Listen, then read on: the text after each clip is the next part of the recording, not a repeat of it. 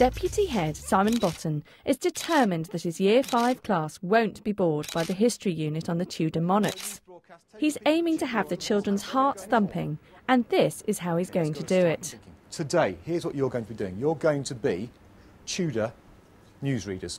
You are going to be reporting on the different ends that came to Henry's wives. Each table is going to be your own news company, and each table is going to report what happened to that wife, why it's happened, and what's going to happen next. And that's quite a lot because we now only have an hour and nine minutes left.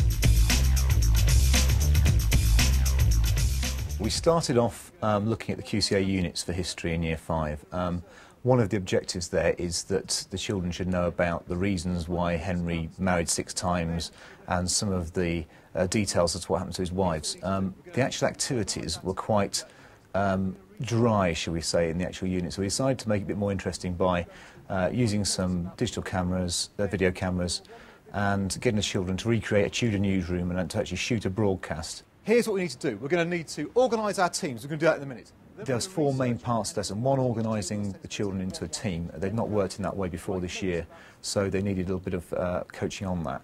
Then the research section of the activity, where the children are actually find out the, the, the nitty-gritty of the details of the actual history. And if, if you like, that was where the, the real learning was happening as far as um, meeting objectives. Uh, thirdly, to write some notes about the story uh, in the format of a script for their news broadcast. And finally, to film a one-minute broadcast, uh, which they could then show the rest of the class. In just over an hour. That's an awful lot to do. Put your hand up if you think you can manage it. Fantastic. Okay, hands down. First thing we do is organise our teams. Now, we're going to have various roles. We're going to have a director. That director is the person who's in charge of making sure everybody in your team is doing their job. We're going to have a camera operator to film the news broadcast. We're going to have two news readers. Two, two people are going to stand in front of the camera and deliver the news. We're going to have a script writer who's actually... Simon's got an effective way of getting the children to sort out who will do what, without arguments breaking out. There's one rule I say before we do that. You are not allowed to say, I want to do this job. You can only say, I think so-and-so should do this job. So you've got to say, I think Ella should be the camera person.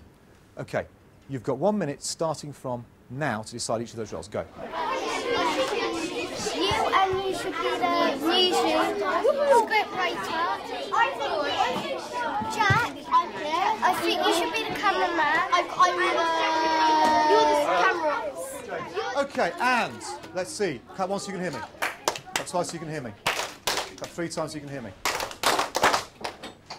OK, your news broadcast is going to be on the day after whatever happened to that wife has happened. So if Anne Boleyn's had her head chopped off, it's, it's on the uh, 19th of May, you're on the 20th of May telling the nation. As luck would have it, I was going through my attic the other day and I just happened to find a Tudor newsreel. What are the chances of that? Um, it's a bit grainy. Uh, it's not very long. Uh, it must have been a relative of mine, I think, because there are certain uh, similarities uh, on the Battle of Bosworth. This will give you an idea as to the sort of uh, tone you need to do when you're doing your uh, news broadcast. So, here is a Tudor newsreel. I hope it's in the right place. Today, on the 21st of August, 1485, grave things are occurring in Bosworth Field. The two large armies of Richard III and Henry Tudor are massing there for perhaps the final time. I wanted the children to have a model as to how I felt it should be uh, or could be done. So I thought the only way I could do that was actually to create one myself. Now, um, what I did then was I did exactly went through exactly the same process that the children went through. I took a camera home, uh, went through the dressing up box over the, over in our, in our dressing up room, uh, found some silly clothes and um, put some makeup on my face and came up with a little video about the Battle of Bosworth, which is something that they already had researched two weeks previously. So they knew the story and could just see how that story could be put into the format of a news broadcast. Finally, the weather. The weather will be whatever the Lord our God decides to be across our nation. I bid thee good night.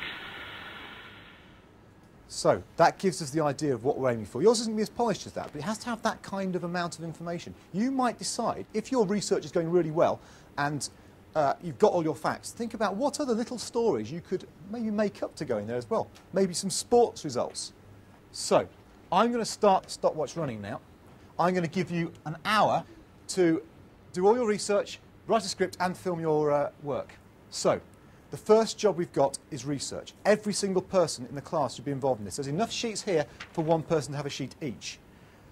I would start by looking at the books, looking at the materials. You need to know which queen you're going to do. So, this table here, you are going to do Catherine of Aragon. This table here, Anne Boleyn. Over here, we have Jane Seymour. Yes. Over here, Anne of Cleves. Henry was very rude about her. We might not include that. And over here, Catherine Howard. We're not going to put Catherine Parr in because, as we know, she survived. So, you've now got, I'm going to give you until, ooh, quarter two. That is uh, about 22 minutes to do your research. Uh, as much background information about where the Queen came from, what she like. Um, who was she? How did Henry meet her? German. No, she's not. Yeah. Yes, she is. Oh, German. Oh, no, don't, don't, don't. The next main part was to research the wives. They were given three different sources to do this. They were given information sheets that uh, they were already familiar with, books which I'd selected first to make sure there was some information on those wives in there, and they were given the use of the internet. And it was interesting watching them do it that they automatically leapt for the internet um, and actually came back to the other sources, which in a way were more focused than the, the sites they were looking at um, later on. He had at least two mistresses that we know of Bessie Blount. I wish that we could just print this out. It'll give you too much though, Jack. Background information. The laptops are wireless network to both the internet and the school server. You've got a lot of information there. You can I've got, I can get more than that. You can be live at the top. The owner of your Tudor television uh, station, the Earl of Warwick, has come in a right strop and told you that you've got to stop researching now and start writing the script because you've got to go on air in about uh, half an hour's time, which means you have to start have a script ready in 15 minutes' time. In a moment, I'm going to hand out two very high-tech items. One, a pen.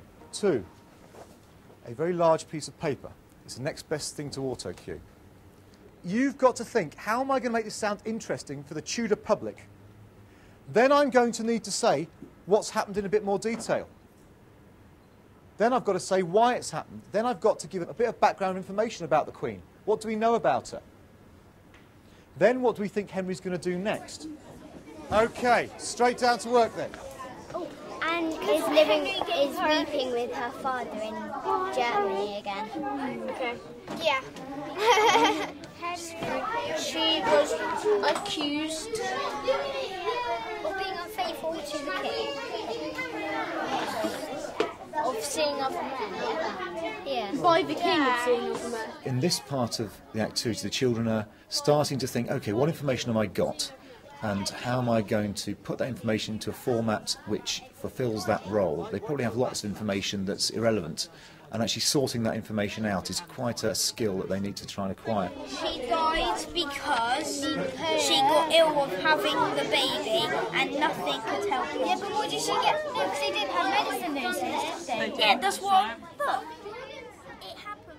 We have 16 minutes left to actually start recording our news broadcasts. Now, let me explain a few things about the video cameras. These cameras, as I said, have only one minute of footage on them. So you need to use that footage well. We bought these cameras about £89 each, uh, and we thought better the technology is actually used by the children. Um, that's our core purpose, after all, is to educate children how to use this technology, not that we can use it for recording assemblies and things. So we decided we'd buy six of these cameras uh, and one slightly higher spec camera for about £100. Um, so that we could use these within the curriculum for all sorts of different different things. We've used them for um, geography field work and in this case history. Now on the front of these cameras is a very small microphone. Now, if the camera person starts talking, then you hear this. I want to do this. I need to move. Excuse me, Alan. I don't hear anything else. if you're the camera operator or anyone else stood around, is that you're absolutely silent. Can you press and hold the button, please? You keep your finger down on the button for as long as you're taking that shot. If you are the presenter, speak loudly, slowly, and clearly. A little bit posh, and as though the person watching is slightly deaf. Because then you'll make sure that you get yourself across. If you start gabbling out like this and talking really quickly, then no one's going to be able to hear me.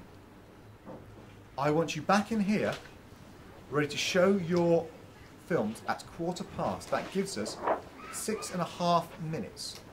It's not very long. You group, this group, you just go outside that door there, please. Could this group here, would you like to just work outside that door?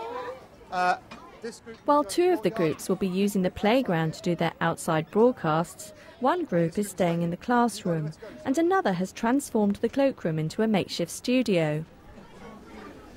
Hello and welcome to the Tudor Times. It must be a record. The fourth Queen gone. Anne of Cleves divorced only 24 hours ago. Anne is weeping with her father in Hever Castle, which Henry gave her. The reason why this marriage has ended is because Henry found the picture more beautiful than Anne in reality. She died because she got very ill of having the baby cut. That was only 39 seconds. We've got an extra 20 seconds to spare.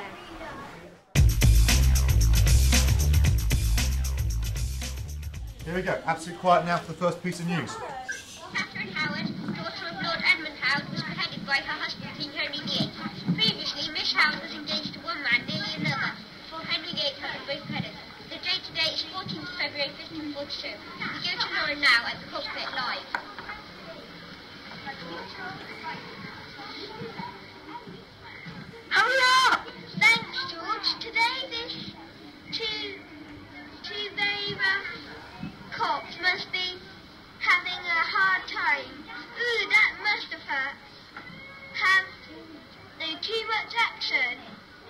Nice thing about having an interactive whiteboard is it allows you to show the children's work writ large at the end of the lesson. The children have done their videoing.